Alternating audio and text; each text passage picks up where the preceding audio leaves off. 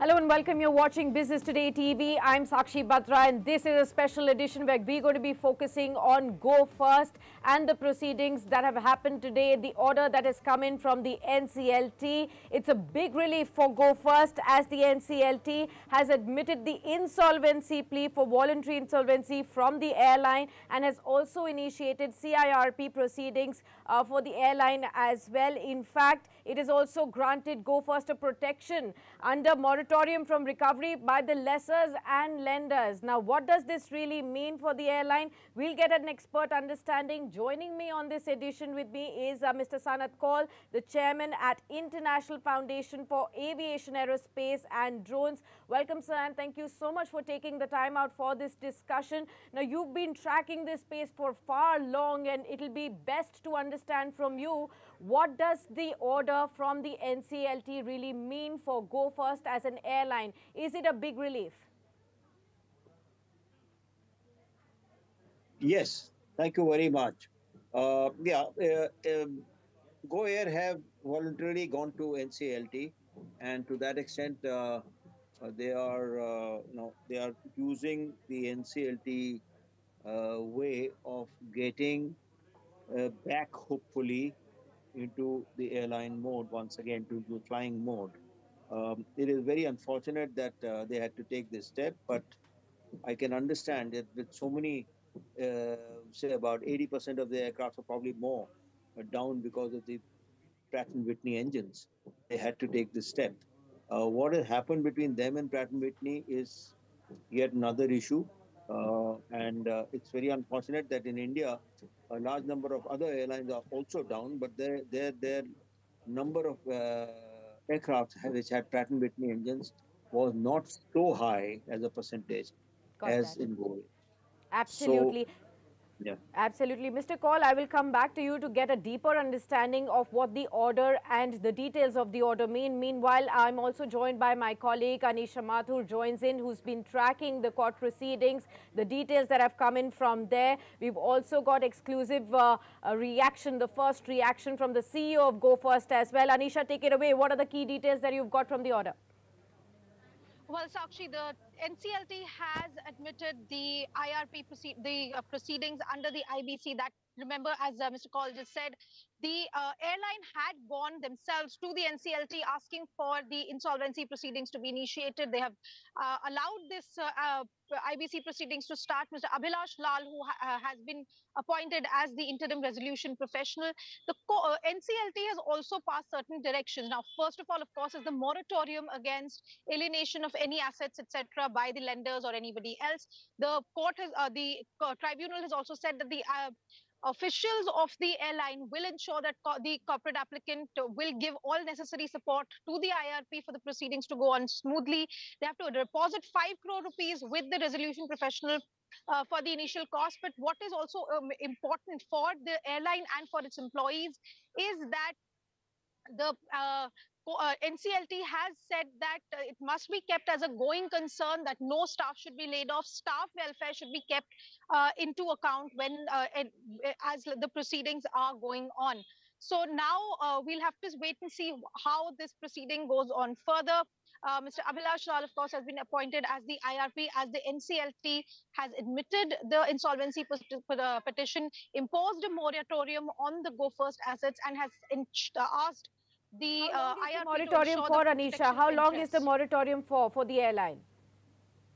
Well, Sakshi, to answer that question, we'll have to wait for the detailed order of the court. I am uh, uh, talking about what the what was said in open court by the NCLT presiding officer. What Got they it. have said is that the suspended management will uh, extend all support. No employees are to be laid off. Uh, arbitration proceedings, and this is also important. The arbitration proceedings that had that had been initiated against uh, Pratt and Whitney, which is the uh, basis of this entire Sure. financial trouble for uh, the airline, those will be pursued by now by the IRP. Back to you. Got that. Thank you so much, Anisha, and continue to track all those developments. We will come back shortly with uh, to understand uh, more details if you get those as well.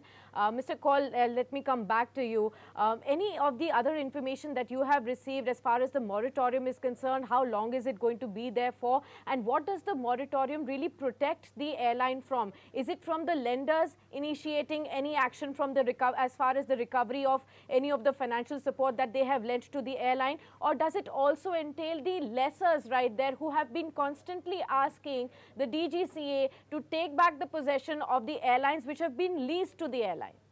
Yeah, yeah. So I think this moratorium will uh, apply to all, including the lessors. So there will be a little, uh, you know, delay. Now, uh, we are also signatories to Cape Town Convention, which they will quote, and we have actually incorporated the Cape Town Convention in our uh, in our rules, in our uh, uh, legal DGCA has done that. And therefore, there may be some conflict with that because, but I'm not very clear on the legal side mm-hmm. of it. this convention gives lessors a much greater chance to take away their aircraft, which was which did not happen uh, since we had not incorporated this earlier. Uh, in one of the cases, uh, of I think it was Kingfisher case mm-hmm. where uh, the aircraft could not be taken away, mm-hmm. and after that we went. So let us see how the whole thing evolves. But it's interesting that for the first time, uh, the airline, one airline in India, went to NCLT on their own to protect their skin, and yet uh, we find that the Pratt and Whitney has not issued any particular statement, excepting one statement saying that it's they don't pay on time and so on. Uh, mm. You know, the lawyer that's kind of running them down rather than you know, apologizing for not able, not being able to supply the engines or their parts. So right. that is my first reaction. But let's see. I mean, I think it's a good step which has happened. They've got the moratorium. Yeah. And uh, they have got a resolution professional uh, so let's hope he is able to resolve. Uh, so I wanted issue. to understand, Mr. Kaul, what really happens next for Go First? I mean, right now we do know uh, as a status that the DGCA has put a ban on further sale of tickets by Go First. After the NCLT order now, what really happens? Will they lift the ban? on the sale of the tickets? Will the rest of the uh, aircraft, uh, which is already operational, um, the CEO has mentioned that 27 aircraft is still operational and uh, only the rest of the air, um, aircrafts were grounded because of the uh, failed engines and the failed supply of engines by Pratt & Whitney. But will they get to fly again or will this uh, stand still until and unless we get to see um, some other management taking over? Because as part of this order, NCLT has said that the existing management also, uh, you know, stands cancelled. Yeah. So it's a very difficult uh, question to answer just now because uh, uh, while uh, they have said that the present management stands cancelled, the resolution professional, if he's able to resolve anything, by way he can also give back the professional management to the existing okay. group of people. Okay. So there is, I mean, it, I think it's an open and shut case just now. It's something which uh, we have to wait uh, because appointment of a of a of a of a resolution what is uh, resolution professional uh, is is good and bad. I mean, it's been done immediately. A name has been appointed. He has been, uh, you know, some money has been allocated for that purpose. So, whole lot of things can happen just now. Sure. Uh, at one sure. end, DGCA was moving to delist the aircraft so that lessors could take it away. Yeah. Now, I don't know what, what will happen to that. Does that get stopped with the moratorium? Is this moratorium applicable to DGCA? Uh, I mm. think it hmm. Yeah. But, uh, okay. Uh, but I mean, DGCA also, as I said, there is another thing to which India has uh, signed. It's called the Cape Town Convention, which mm-hmm. gives lessors a much greater freedom to take away aircraft, which did okay. not happen. And then they went to court. Uh, the lessors went to court earlier, and mm.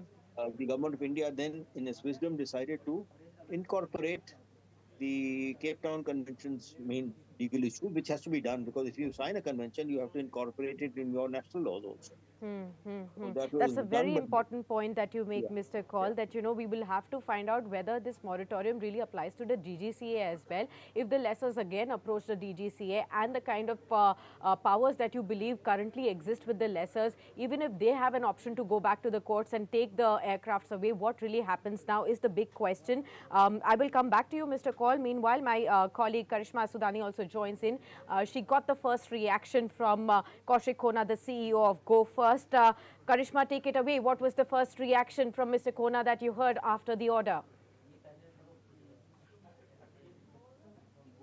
Sakshi, of course, uh, evidently he's happy about the fact that a moratorium has been given because that is what uh, the Go First uh, management uh, uh, wanted. Uh, now, he also shares with us that everything lies in the hands of IRP and um, the plan of action includes uh, discussions on, of course, refunds and uh, resumption of their flights. Just recently, they've announced that until 19th, uh, the flights will stand uh, suspended. But uh, a good question to ask is that uh, what happens after that? How soon are they looking to resume their flights? Yes, absolutely. That is the biggest uh, question right now. And as you just pointed out, Karishma, that uh, the next thing will be what IRP really resides as to what will be the next proceedings. What Mr. Kaul also pointed out, as far as the moratorium is concerned, that is the big question. We do not know whether the moratorium also applies to the DGCA and whether there are extra powers that the lessors have and can they take away uh, the aircrafts which they have been asking the DGCA for. Of course, we understand that for a period of time, if you can also give us any clarity on how long the moratorium stands for, Karishma.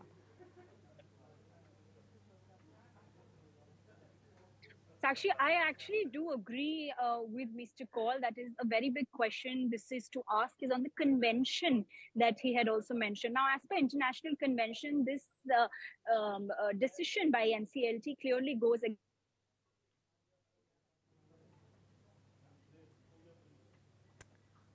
All right, I think we have lost the connection with Karishma. We will again touch base with her to understand what really happens now next. Uh, um, uh, Mr. Kaul, if you could give us a historic understanding of what really happens when uh, after this kind of an order takes place and uh, now the ball is in IRP's court, what will be the first steps that will be done? What will happen immediately now?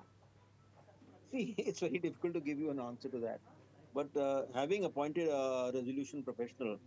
Uh, I think uh, the job is that he has to take urgent action to rectify the situation. I don't know how he's going to do it.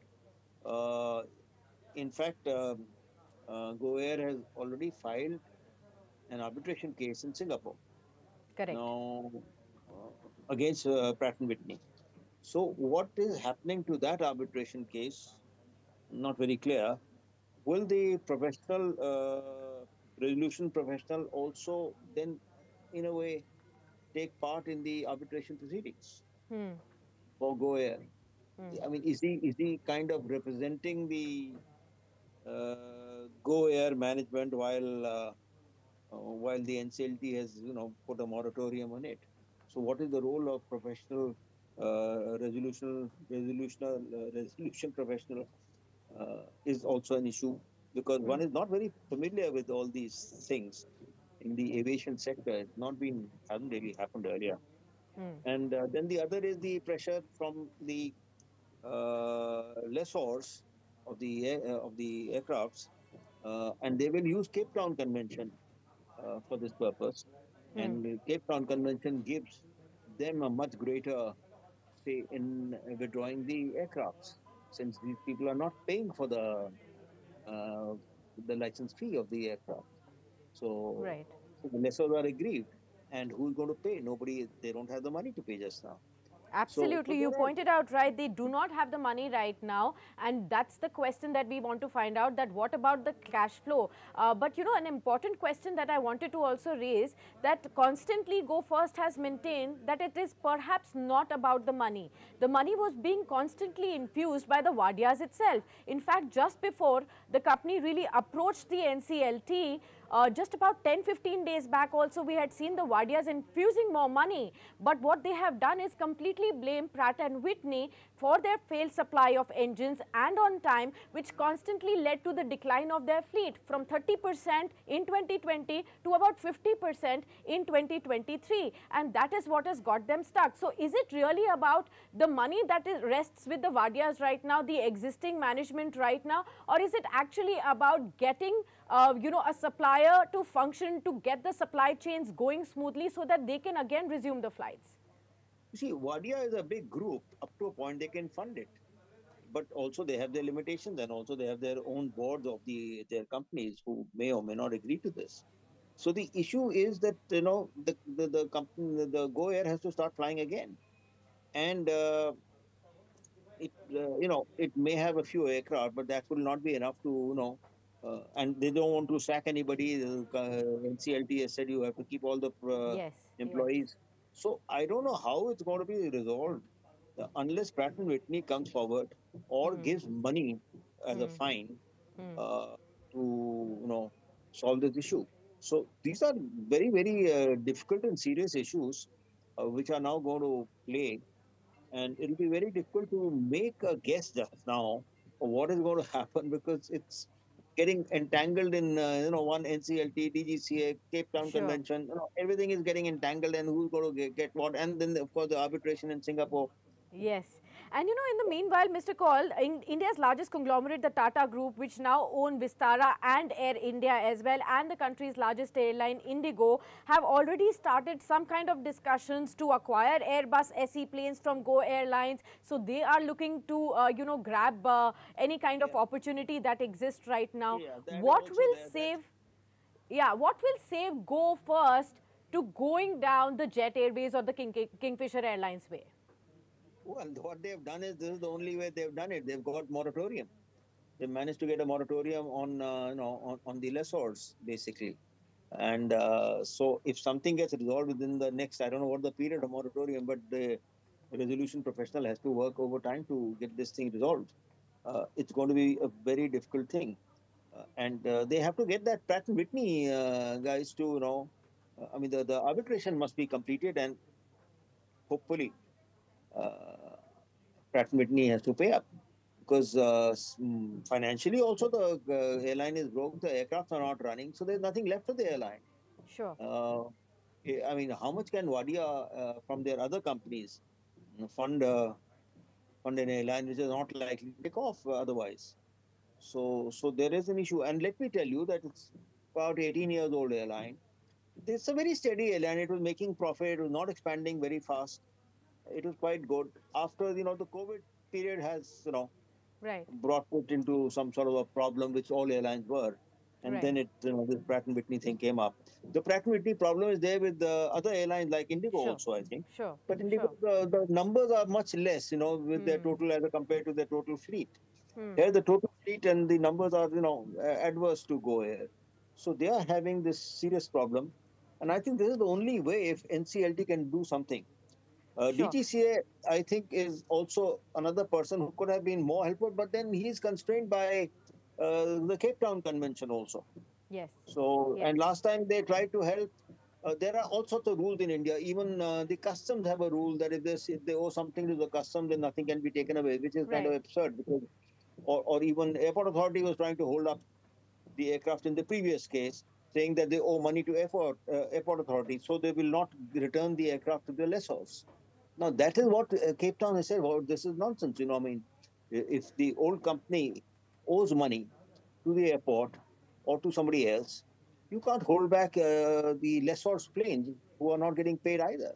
Absolutely. So, so- yeah. Absolutely. So, so it's, a, it's a jumble of uh, legal issues uh, which are now going to come into play. But this uh, resolution professional has a very lead role to play in this. yes. And if you can manage to resolve them, well, that'll be great.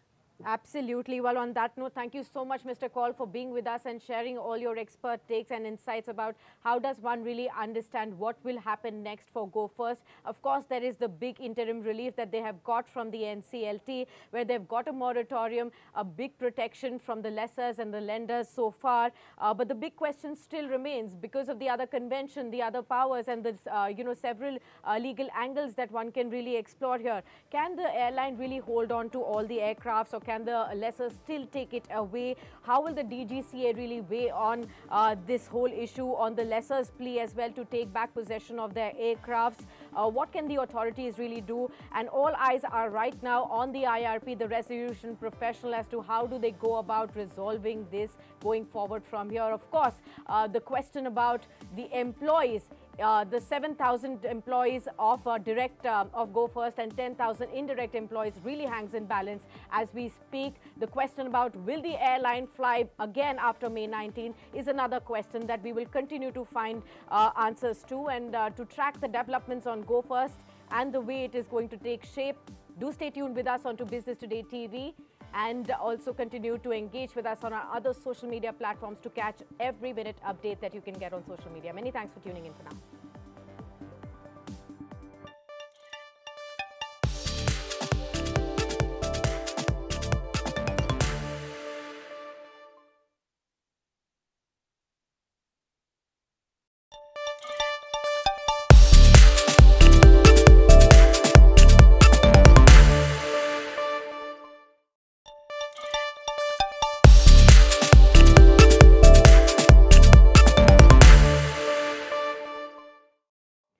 Welcome. You're watching Business Today TV. I'm Sakshi Batra. Well, on this special edition, we're going to be focusing on the company that has made the D Street debut. Mankind uh, Pharma has made a rocking debut on day one on D Street uh, with a listing of over 20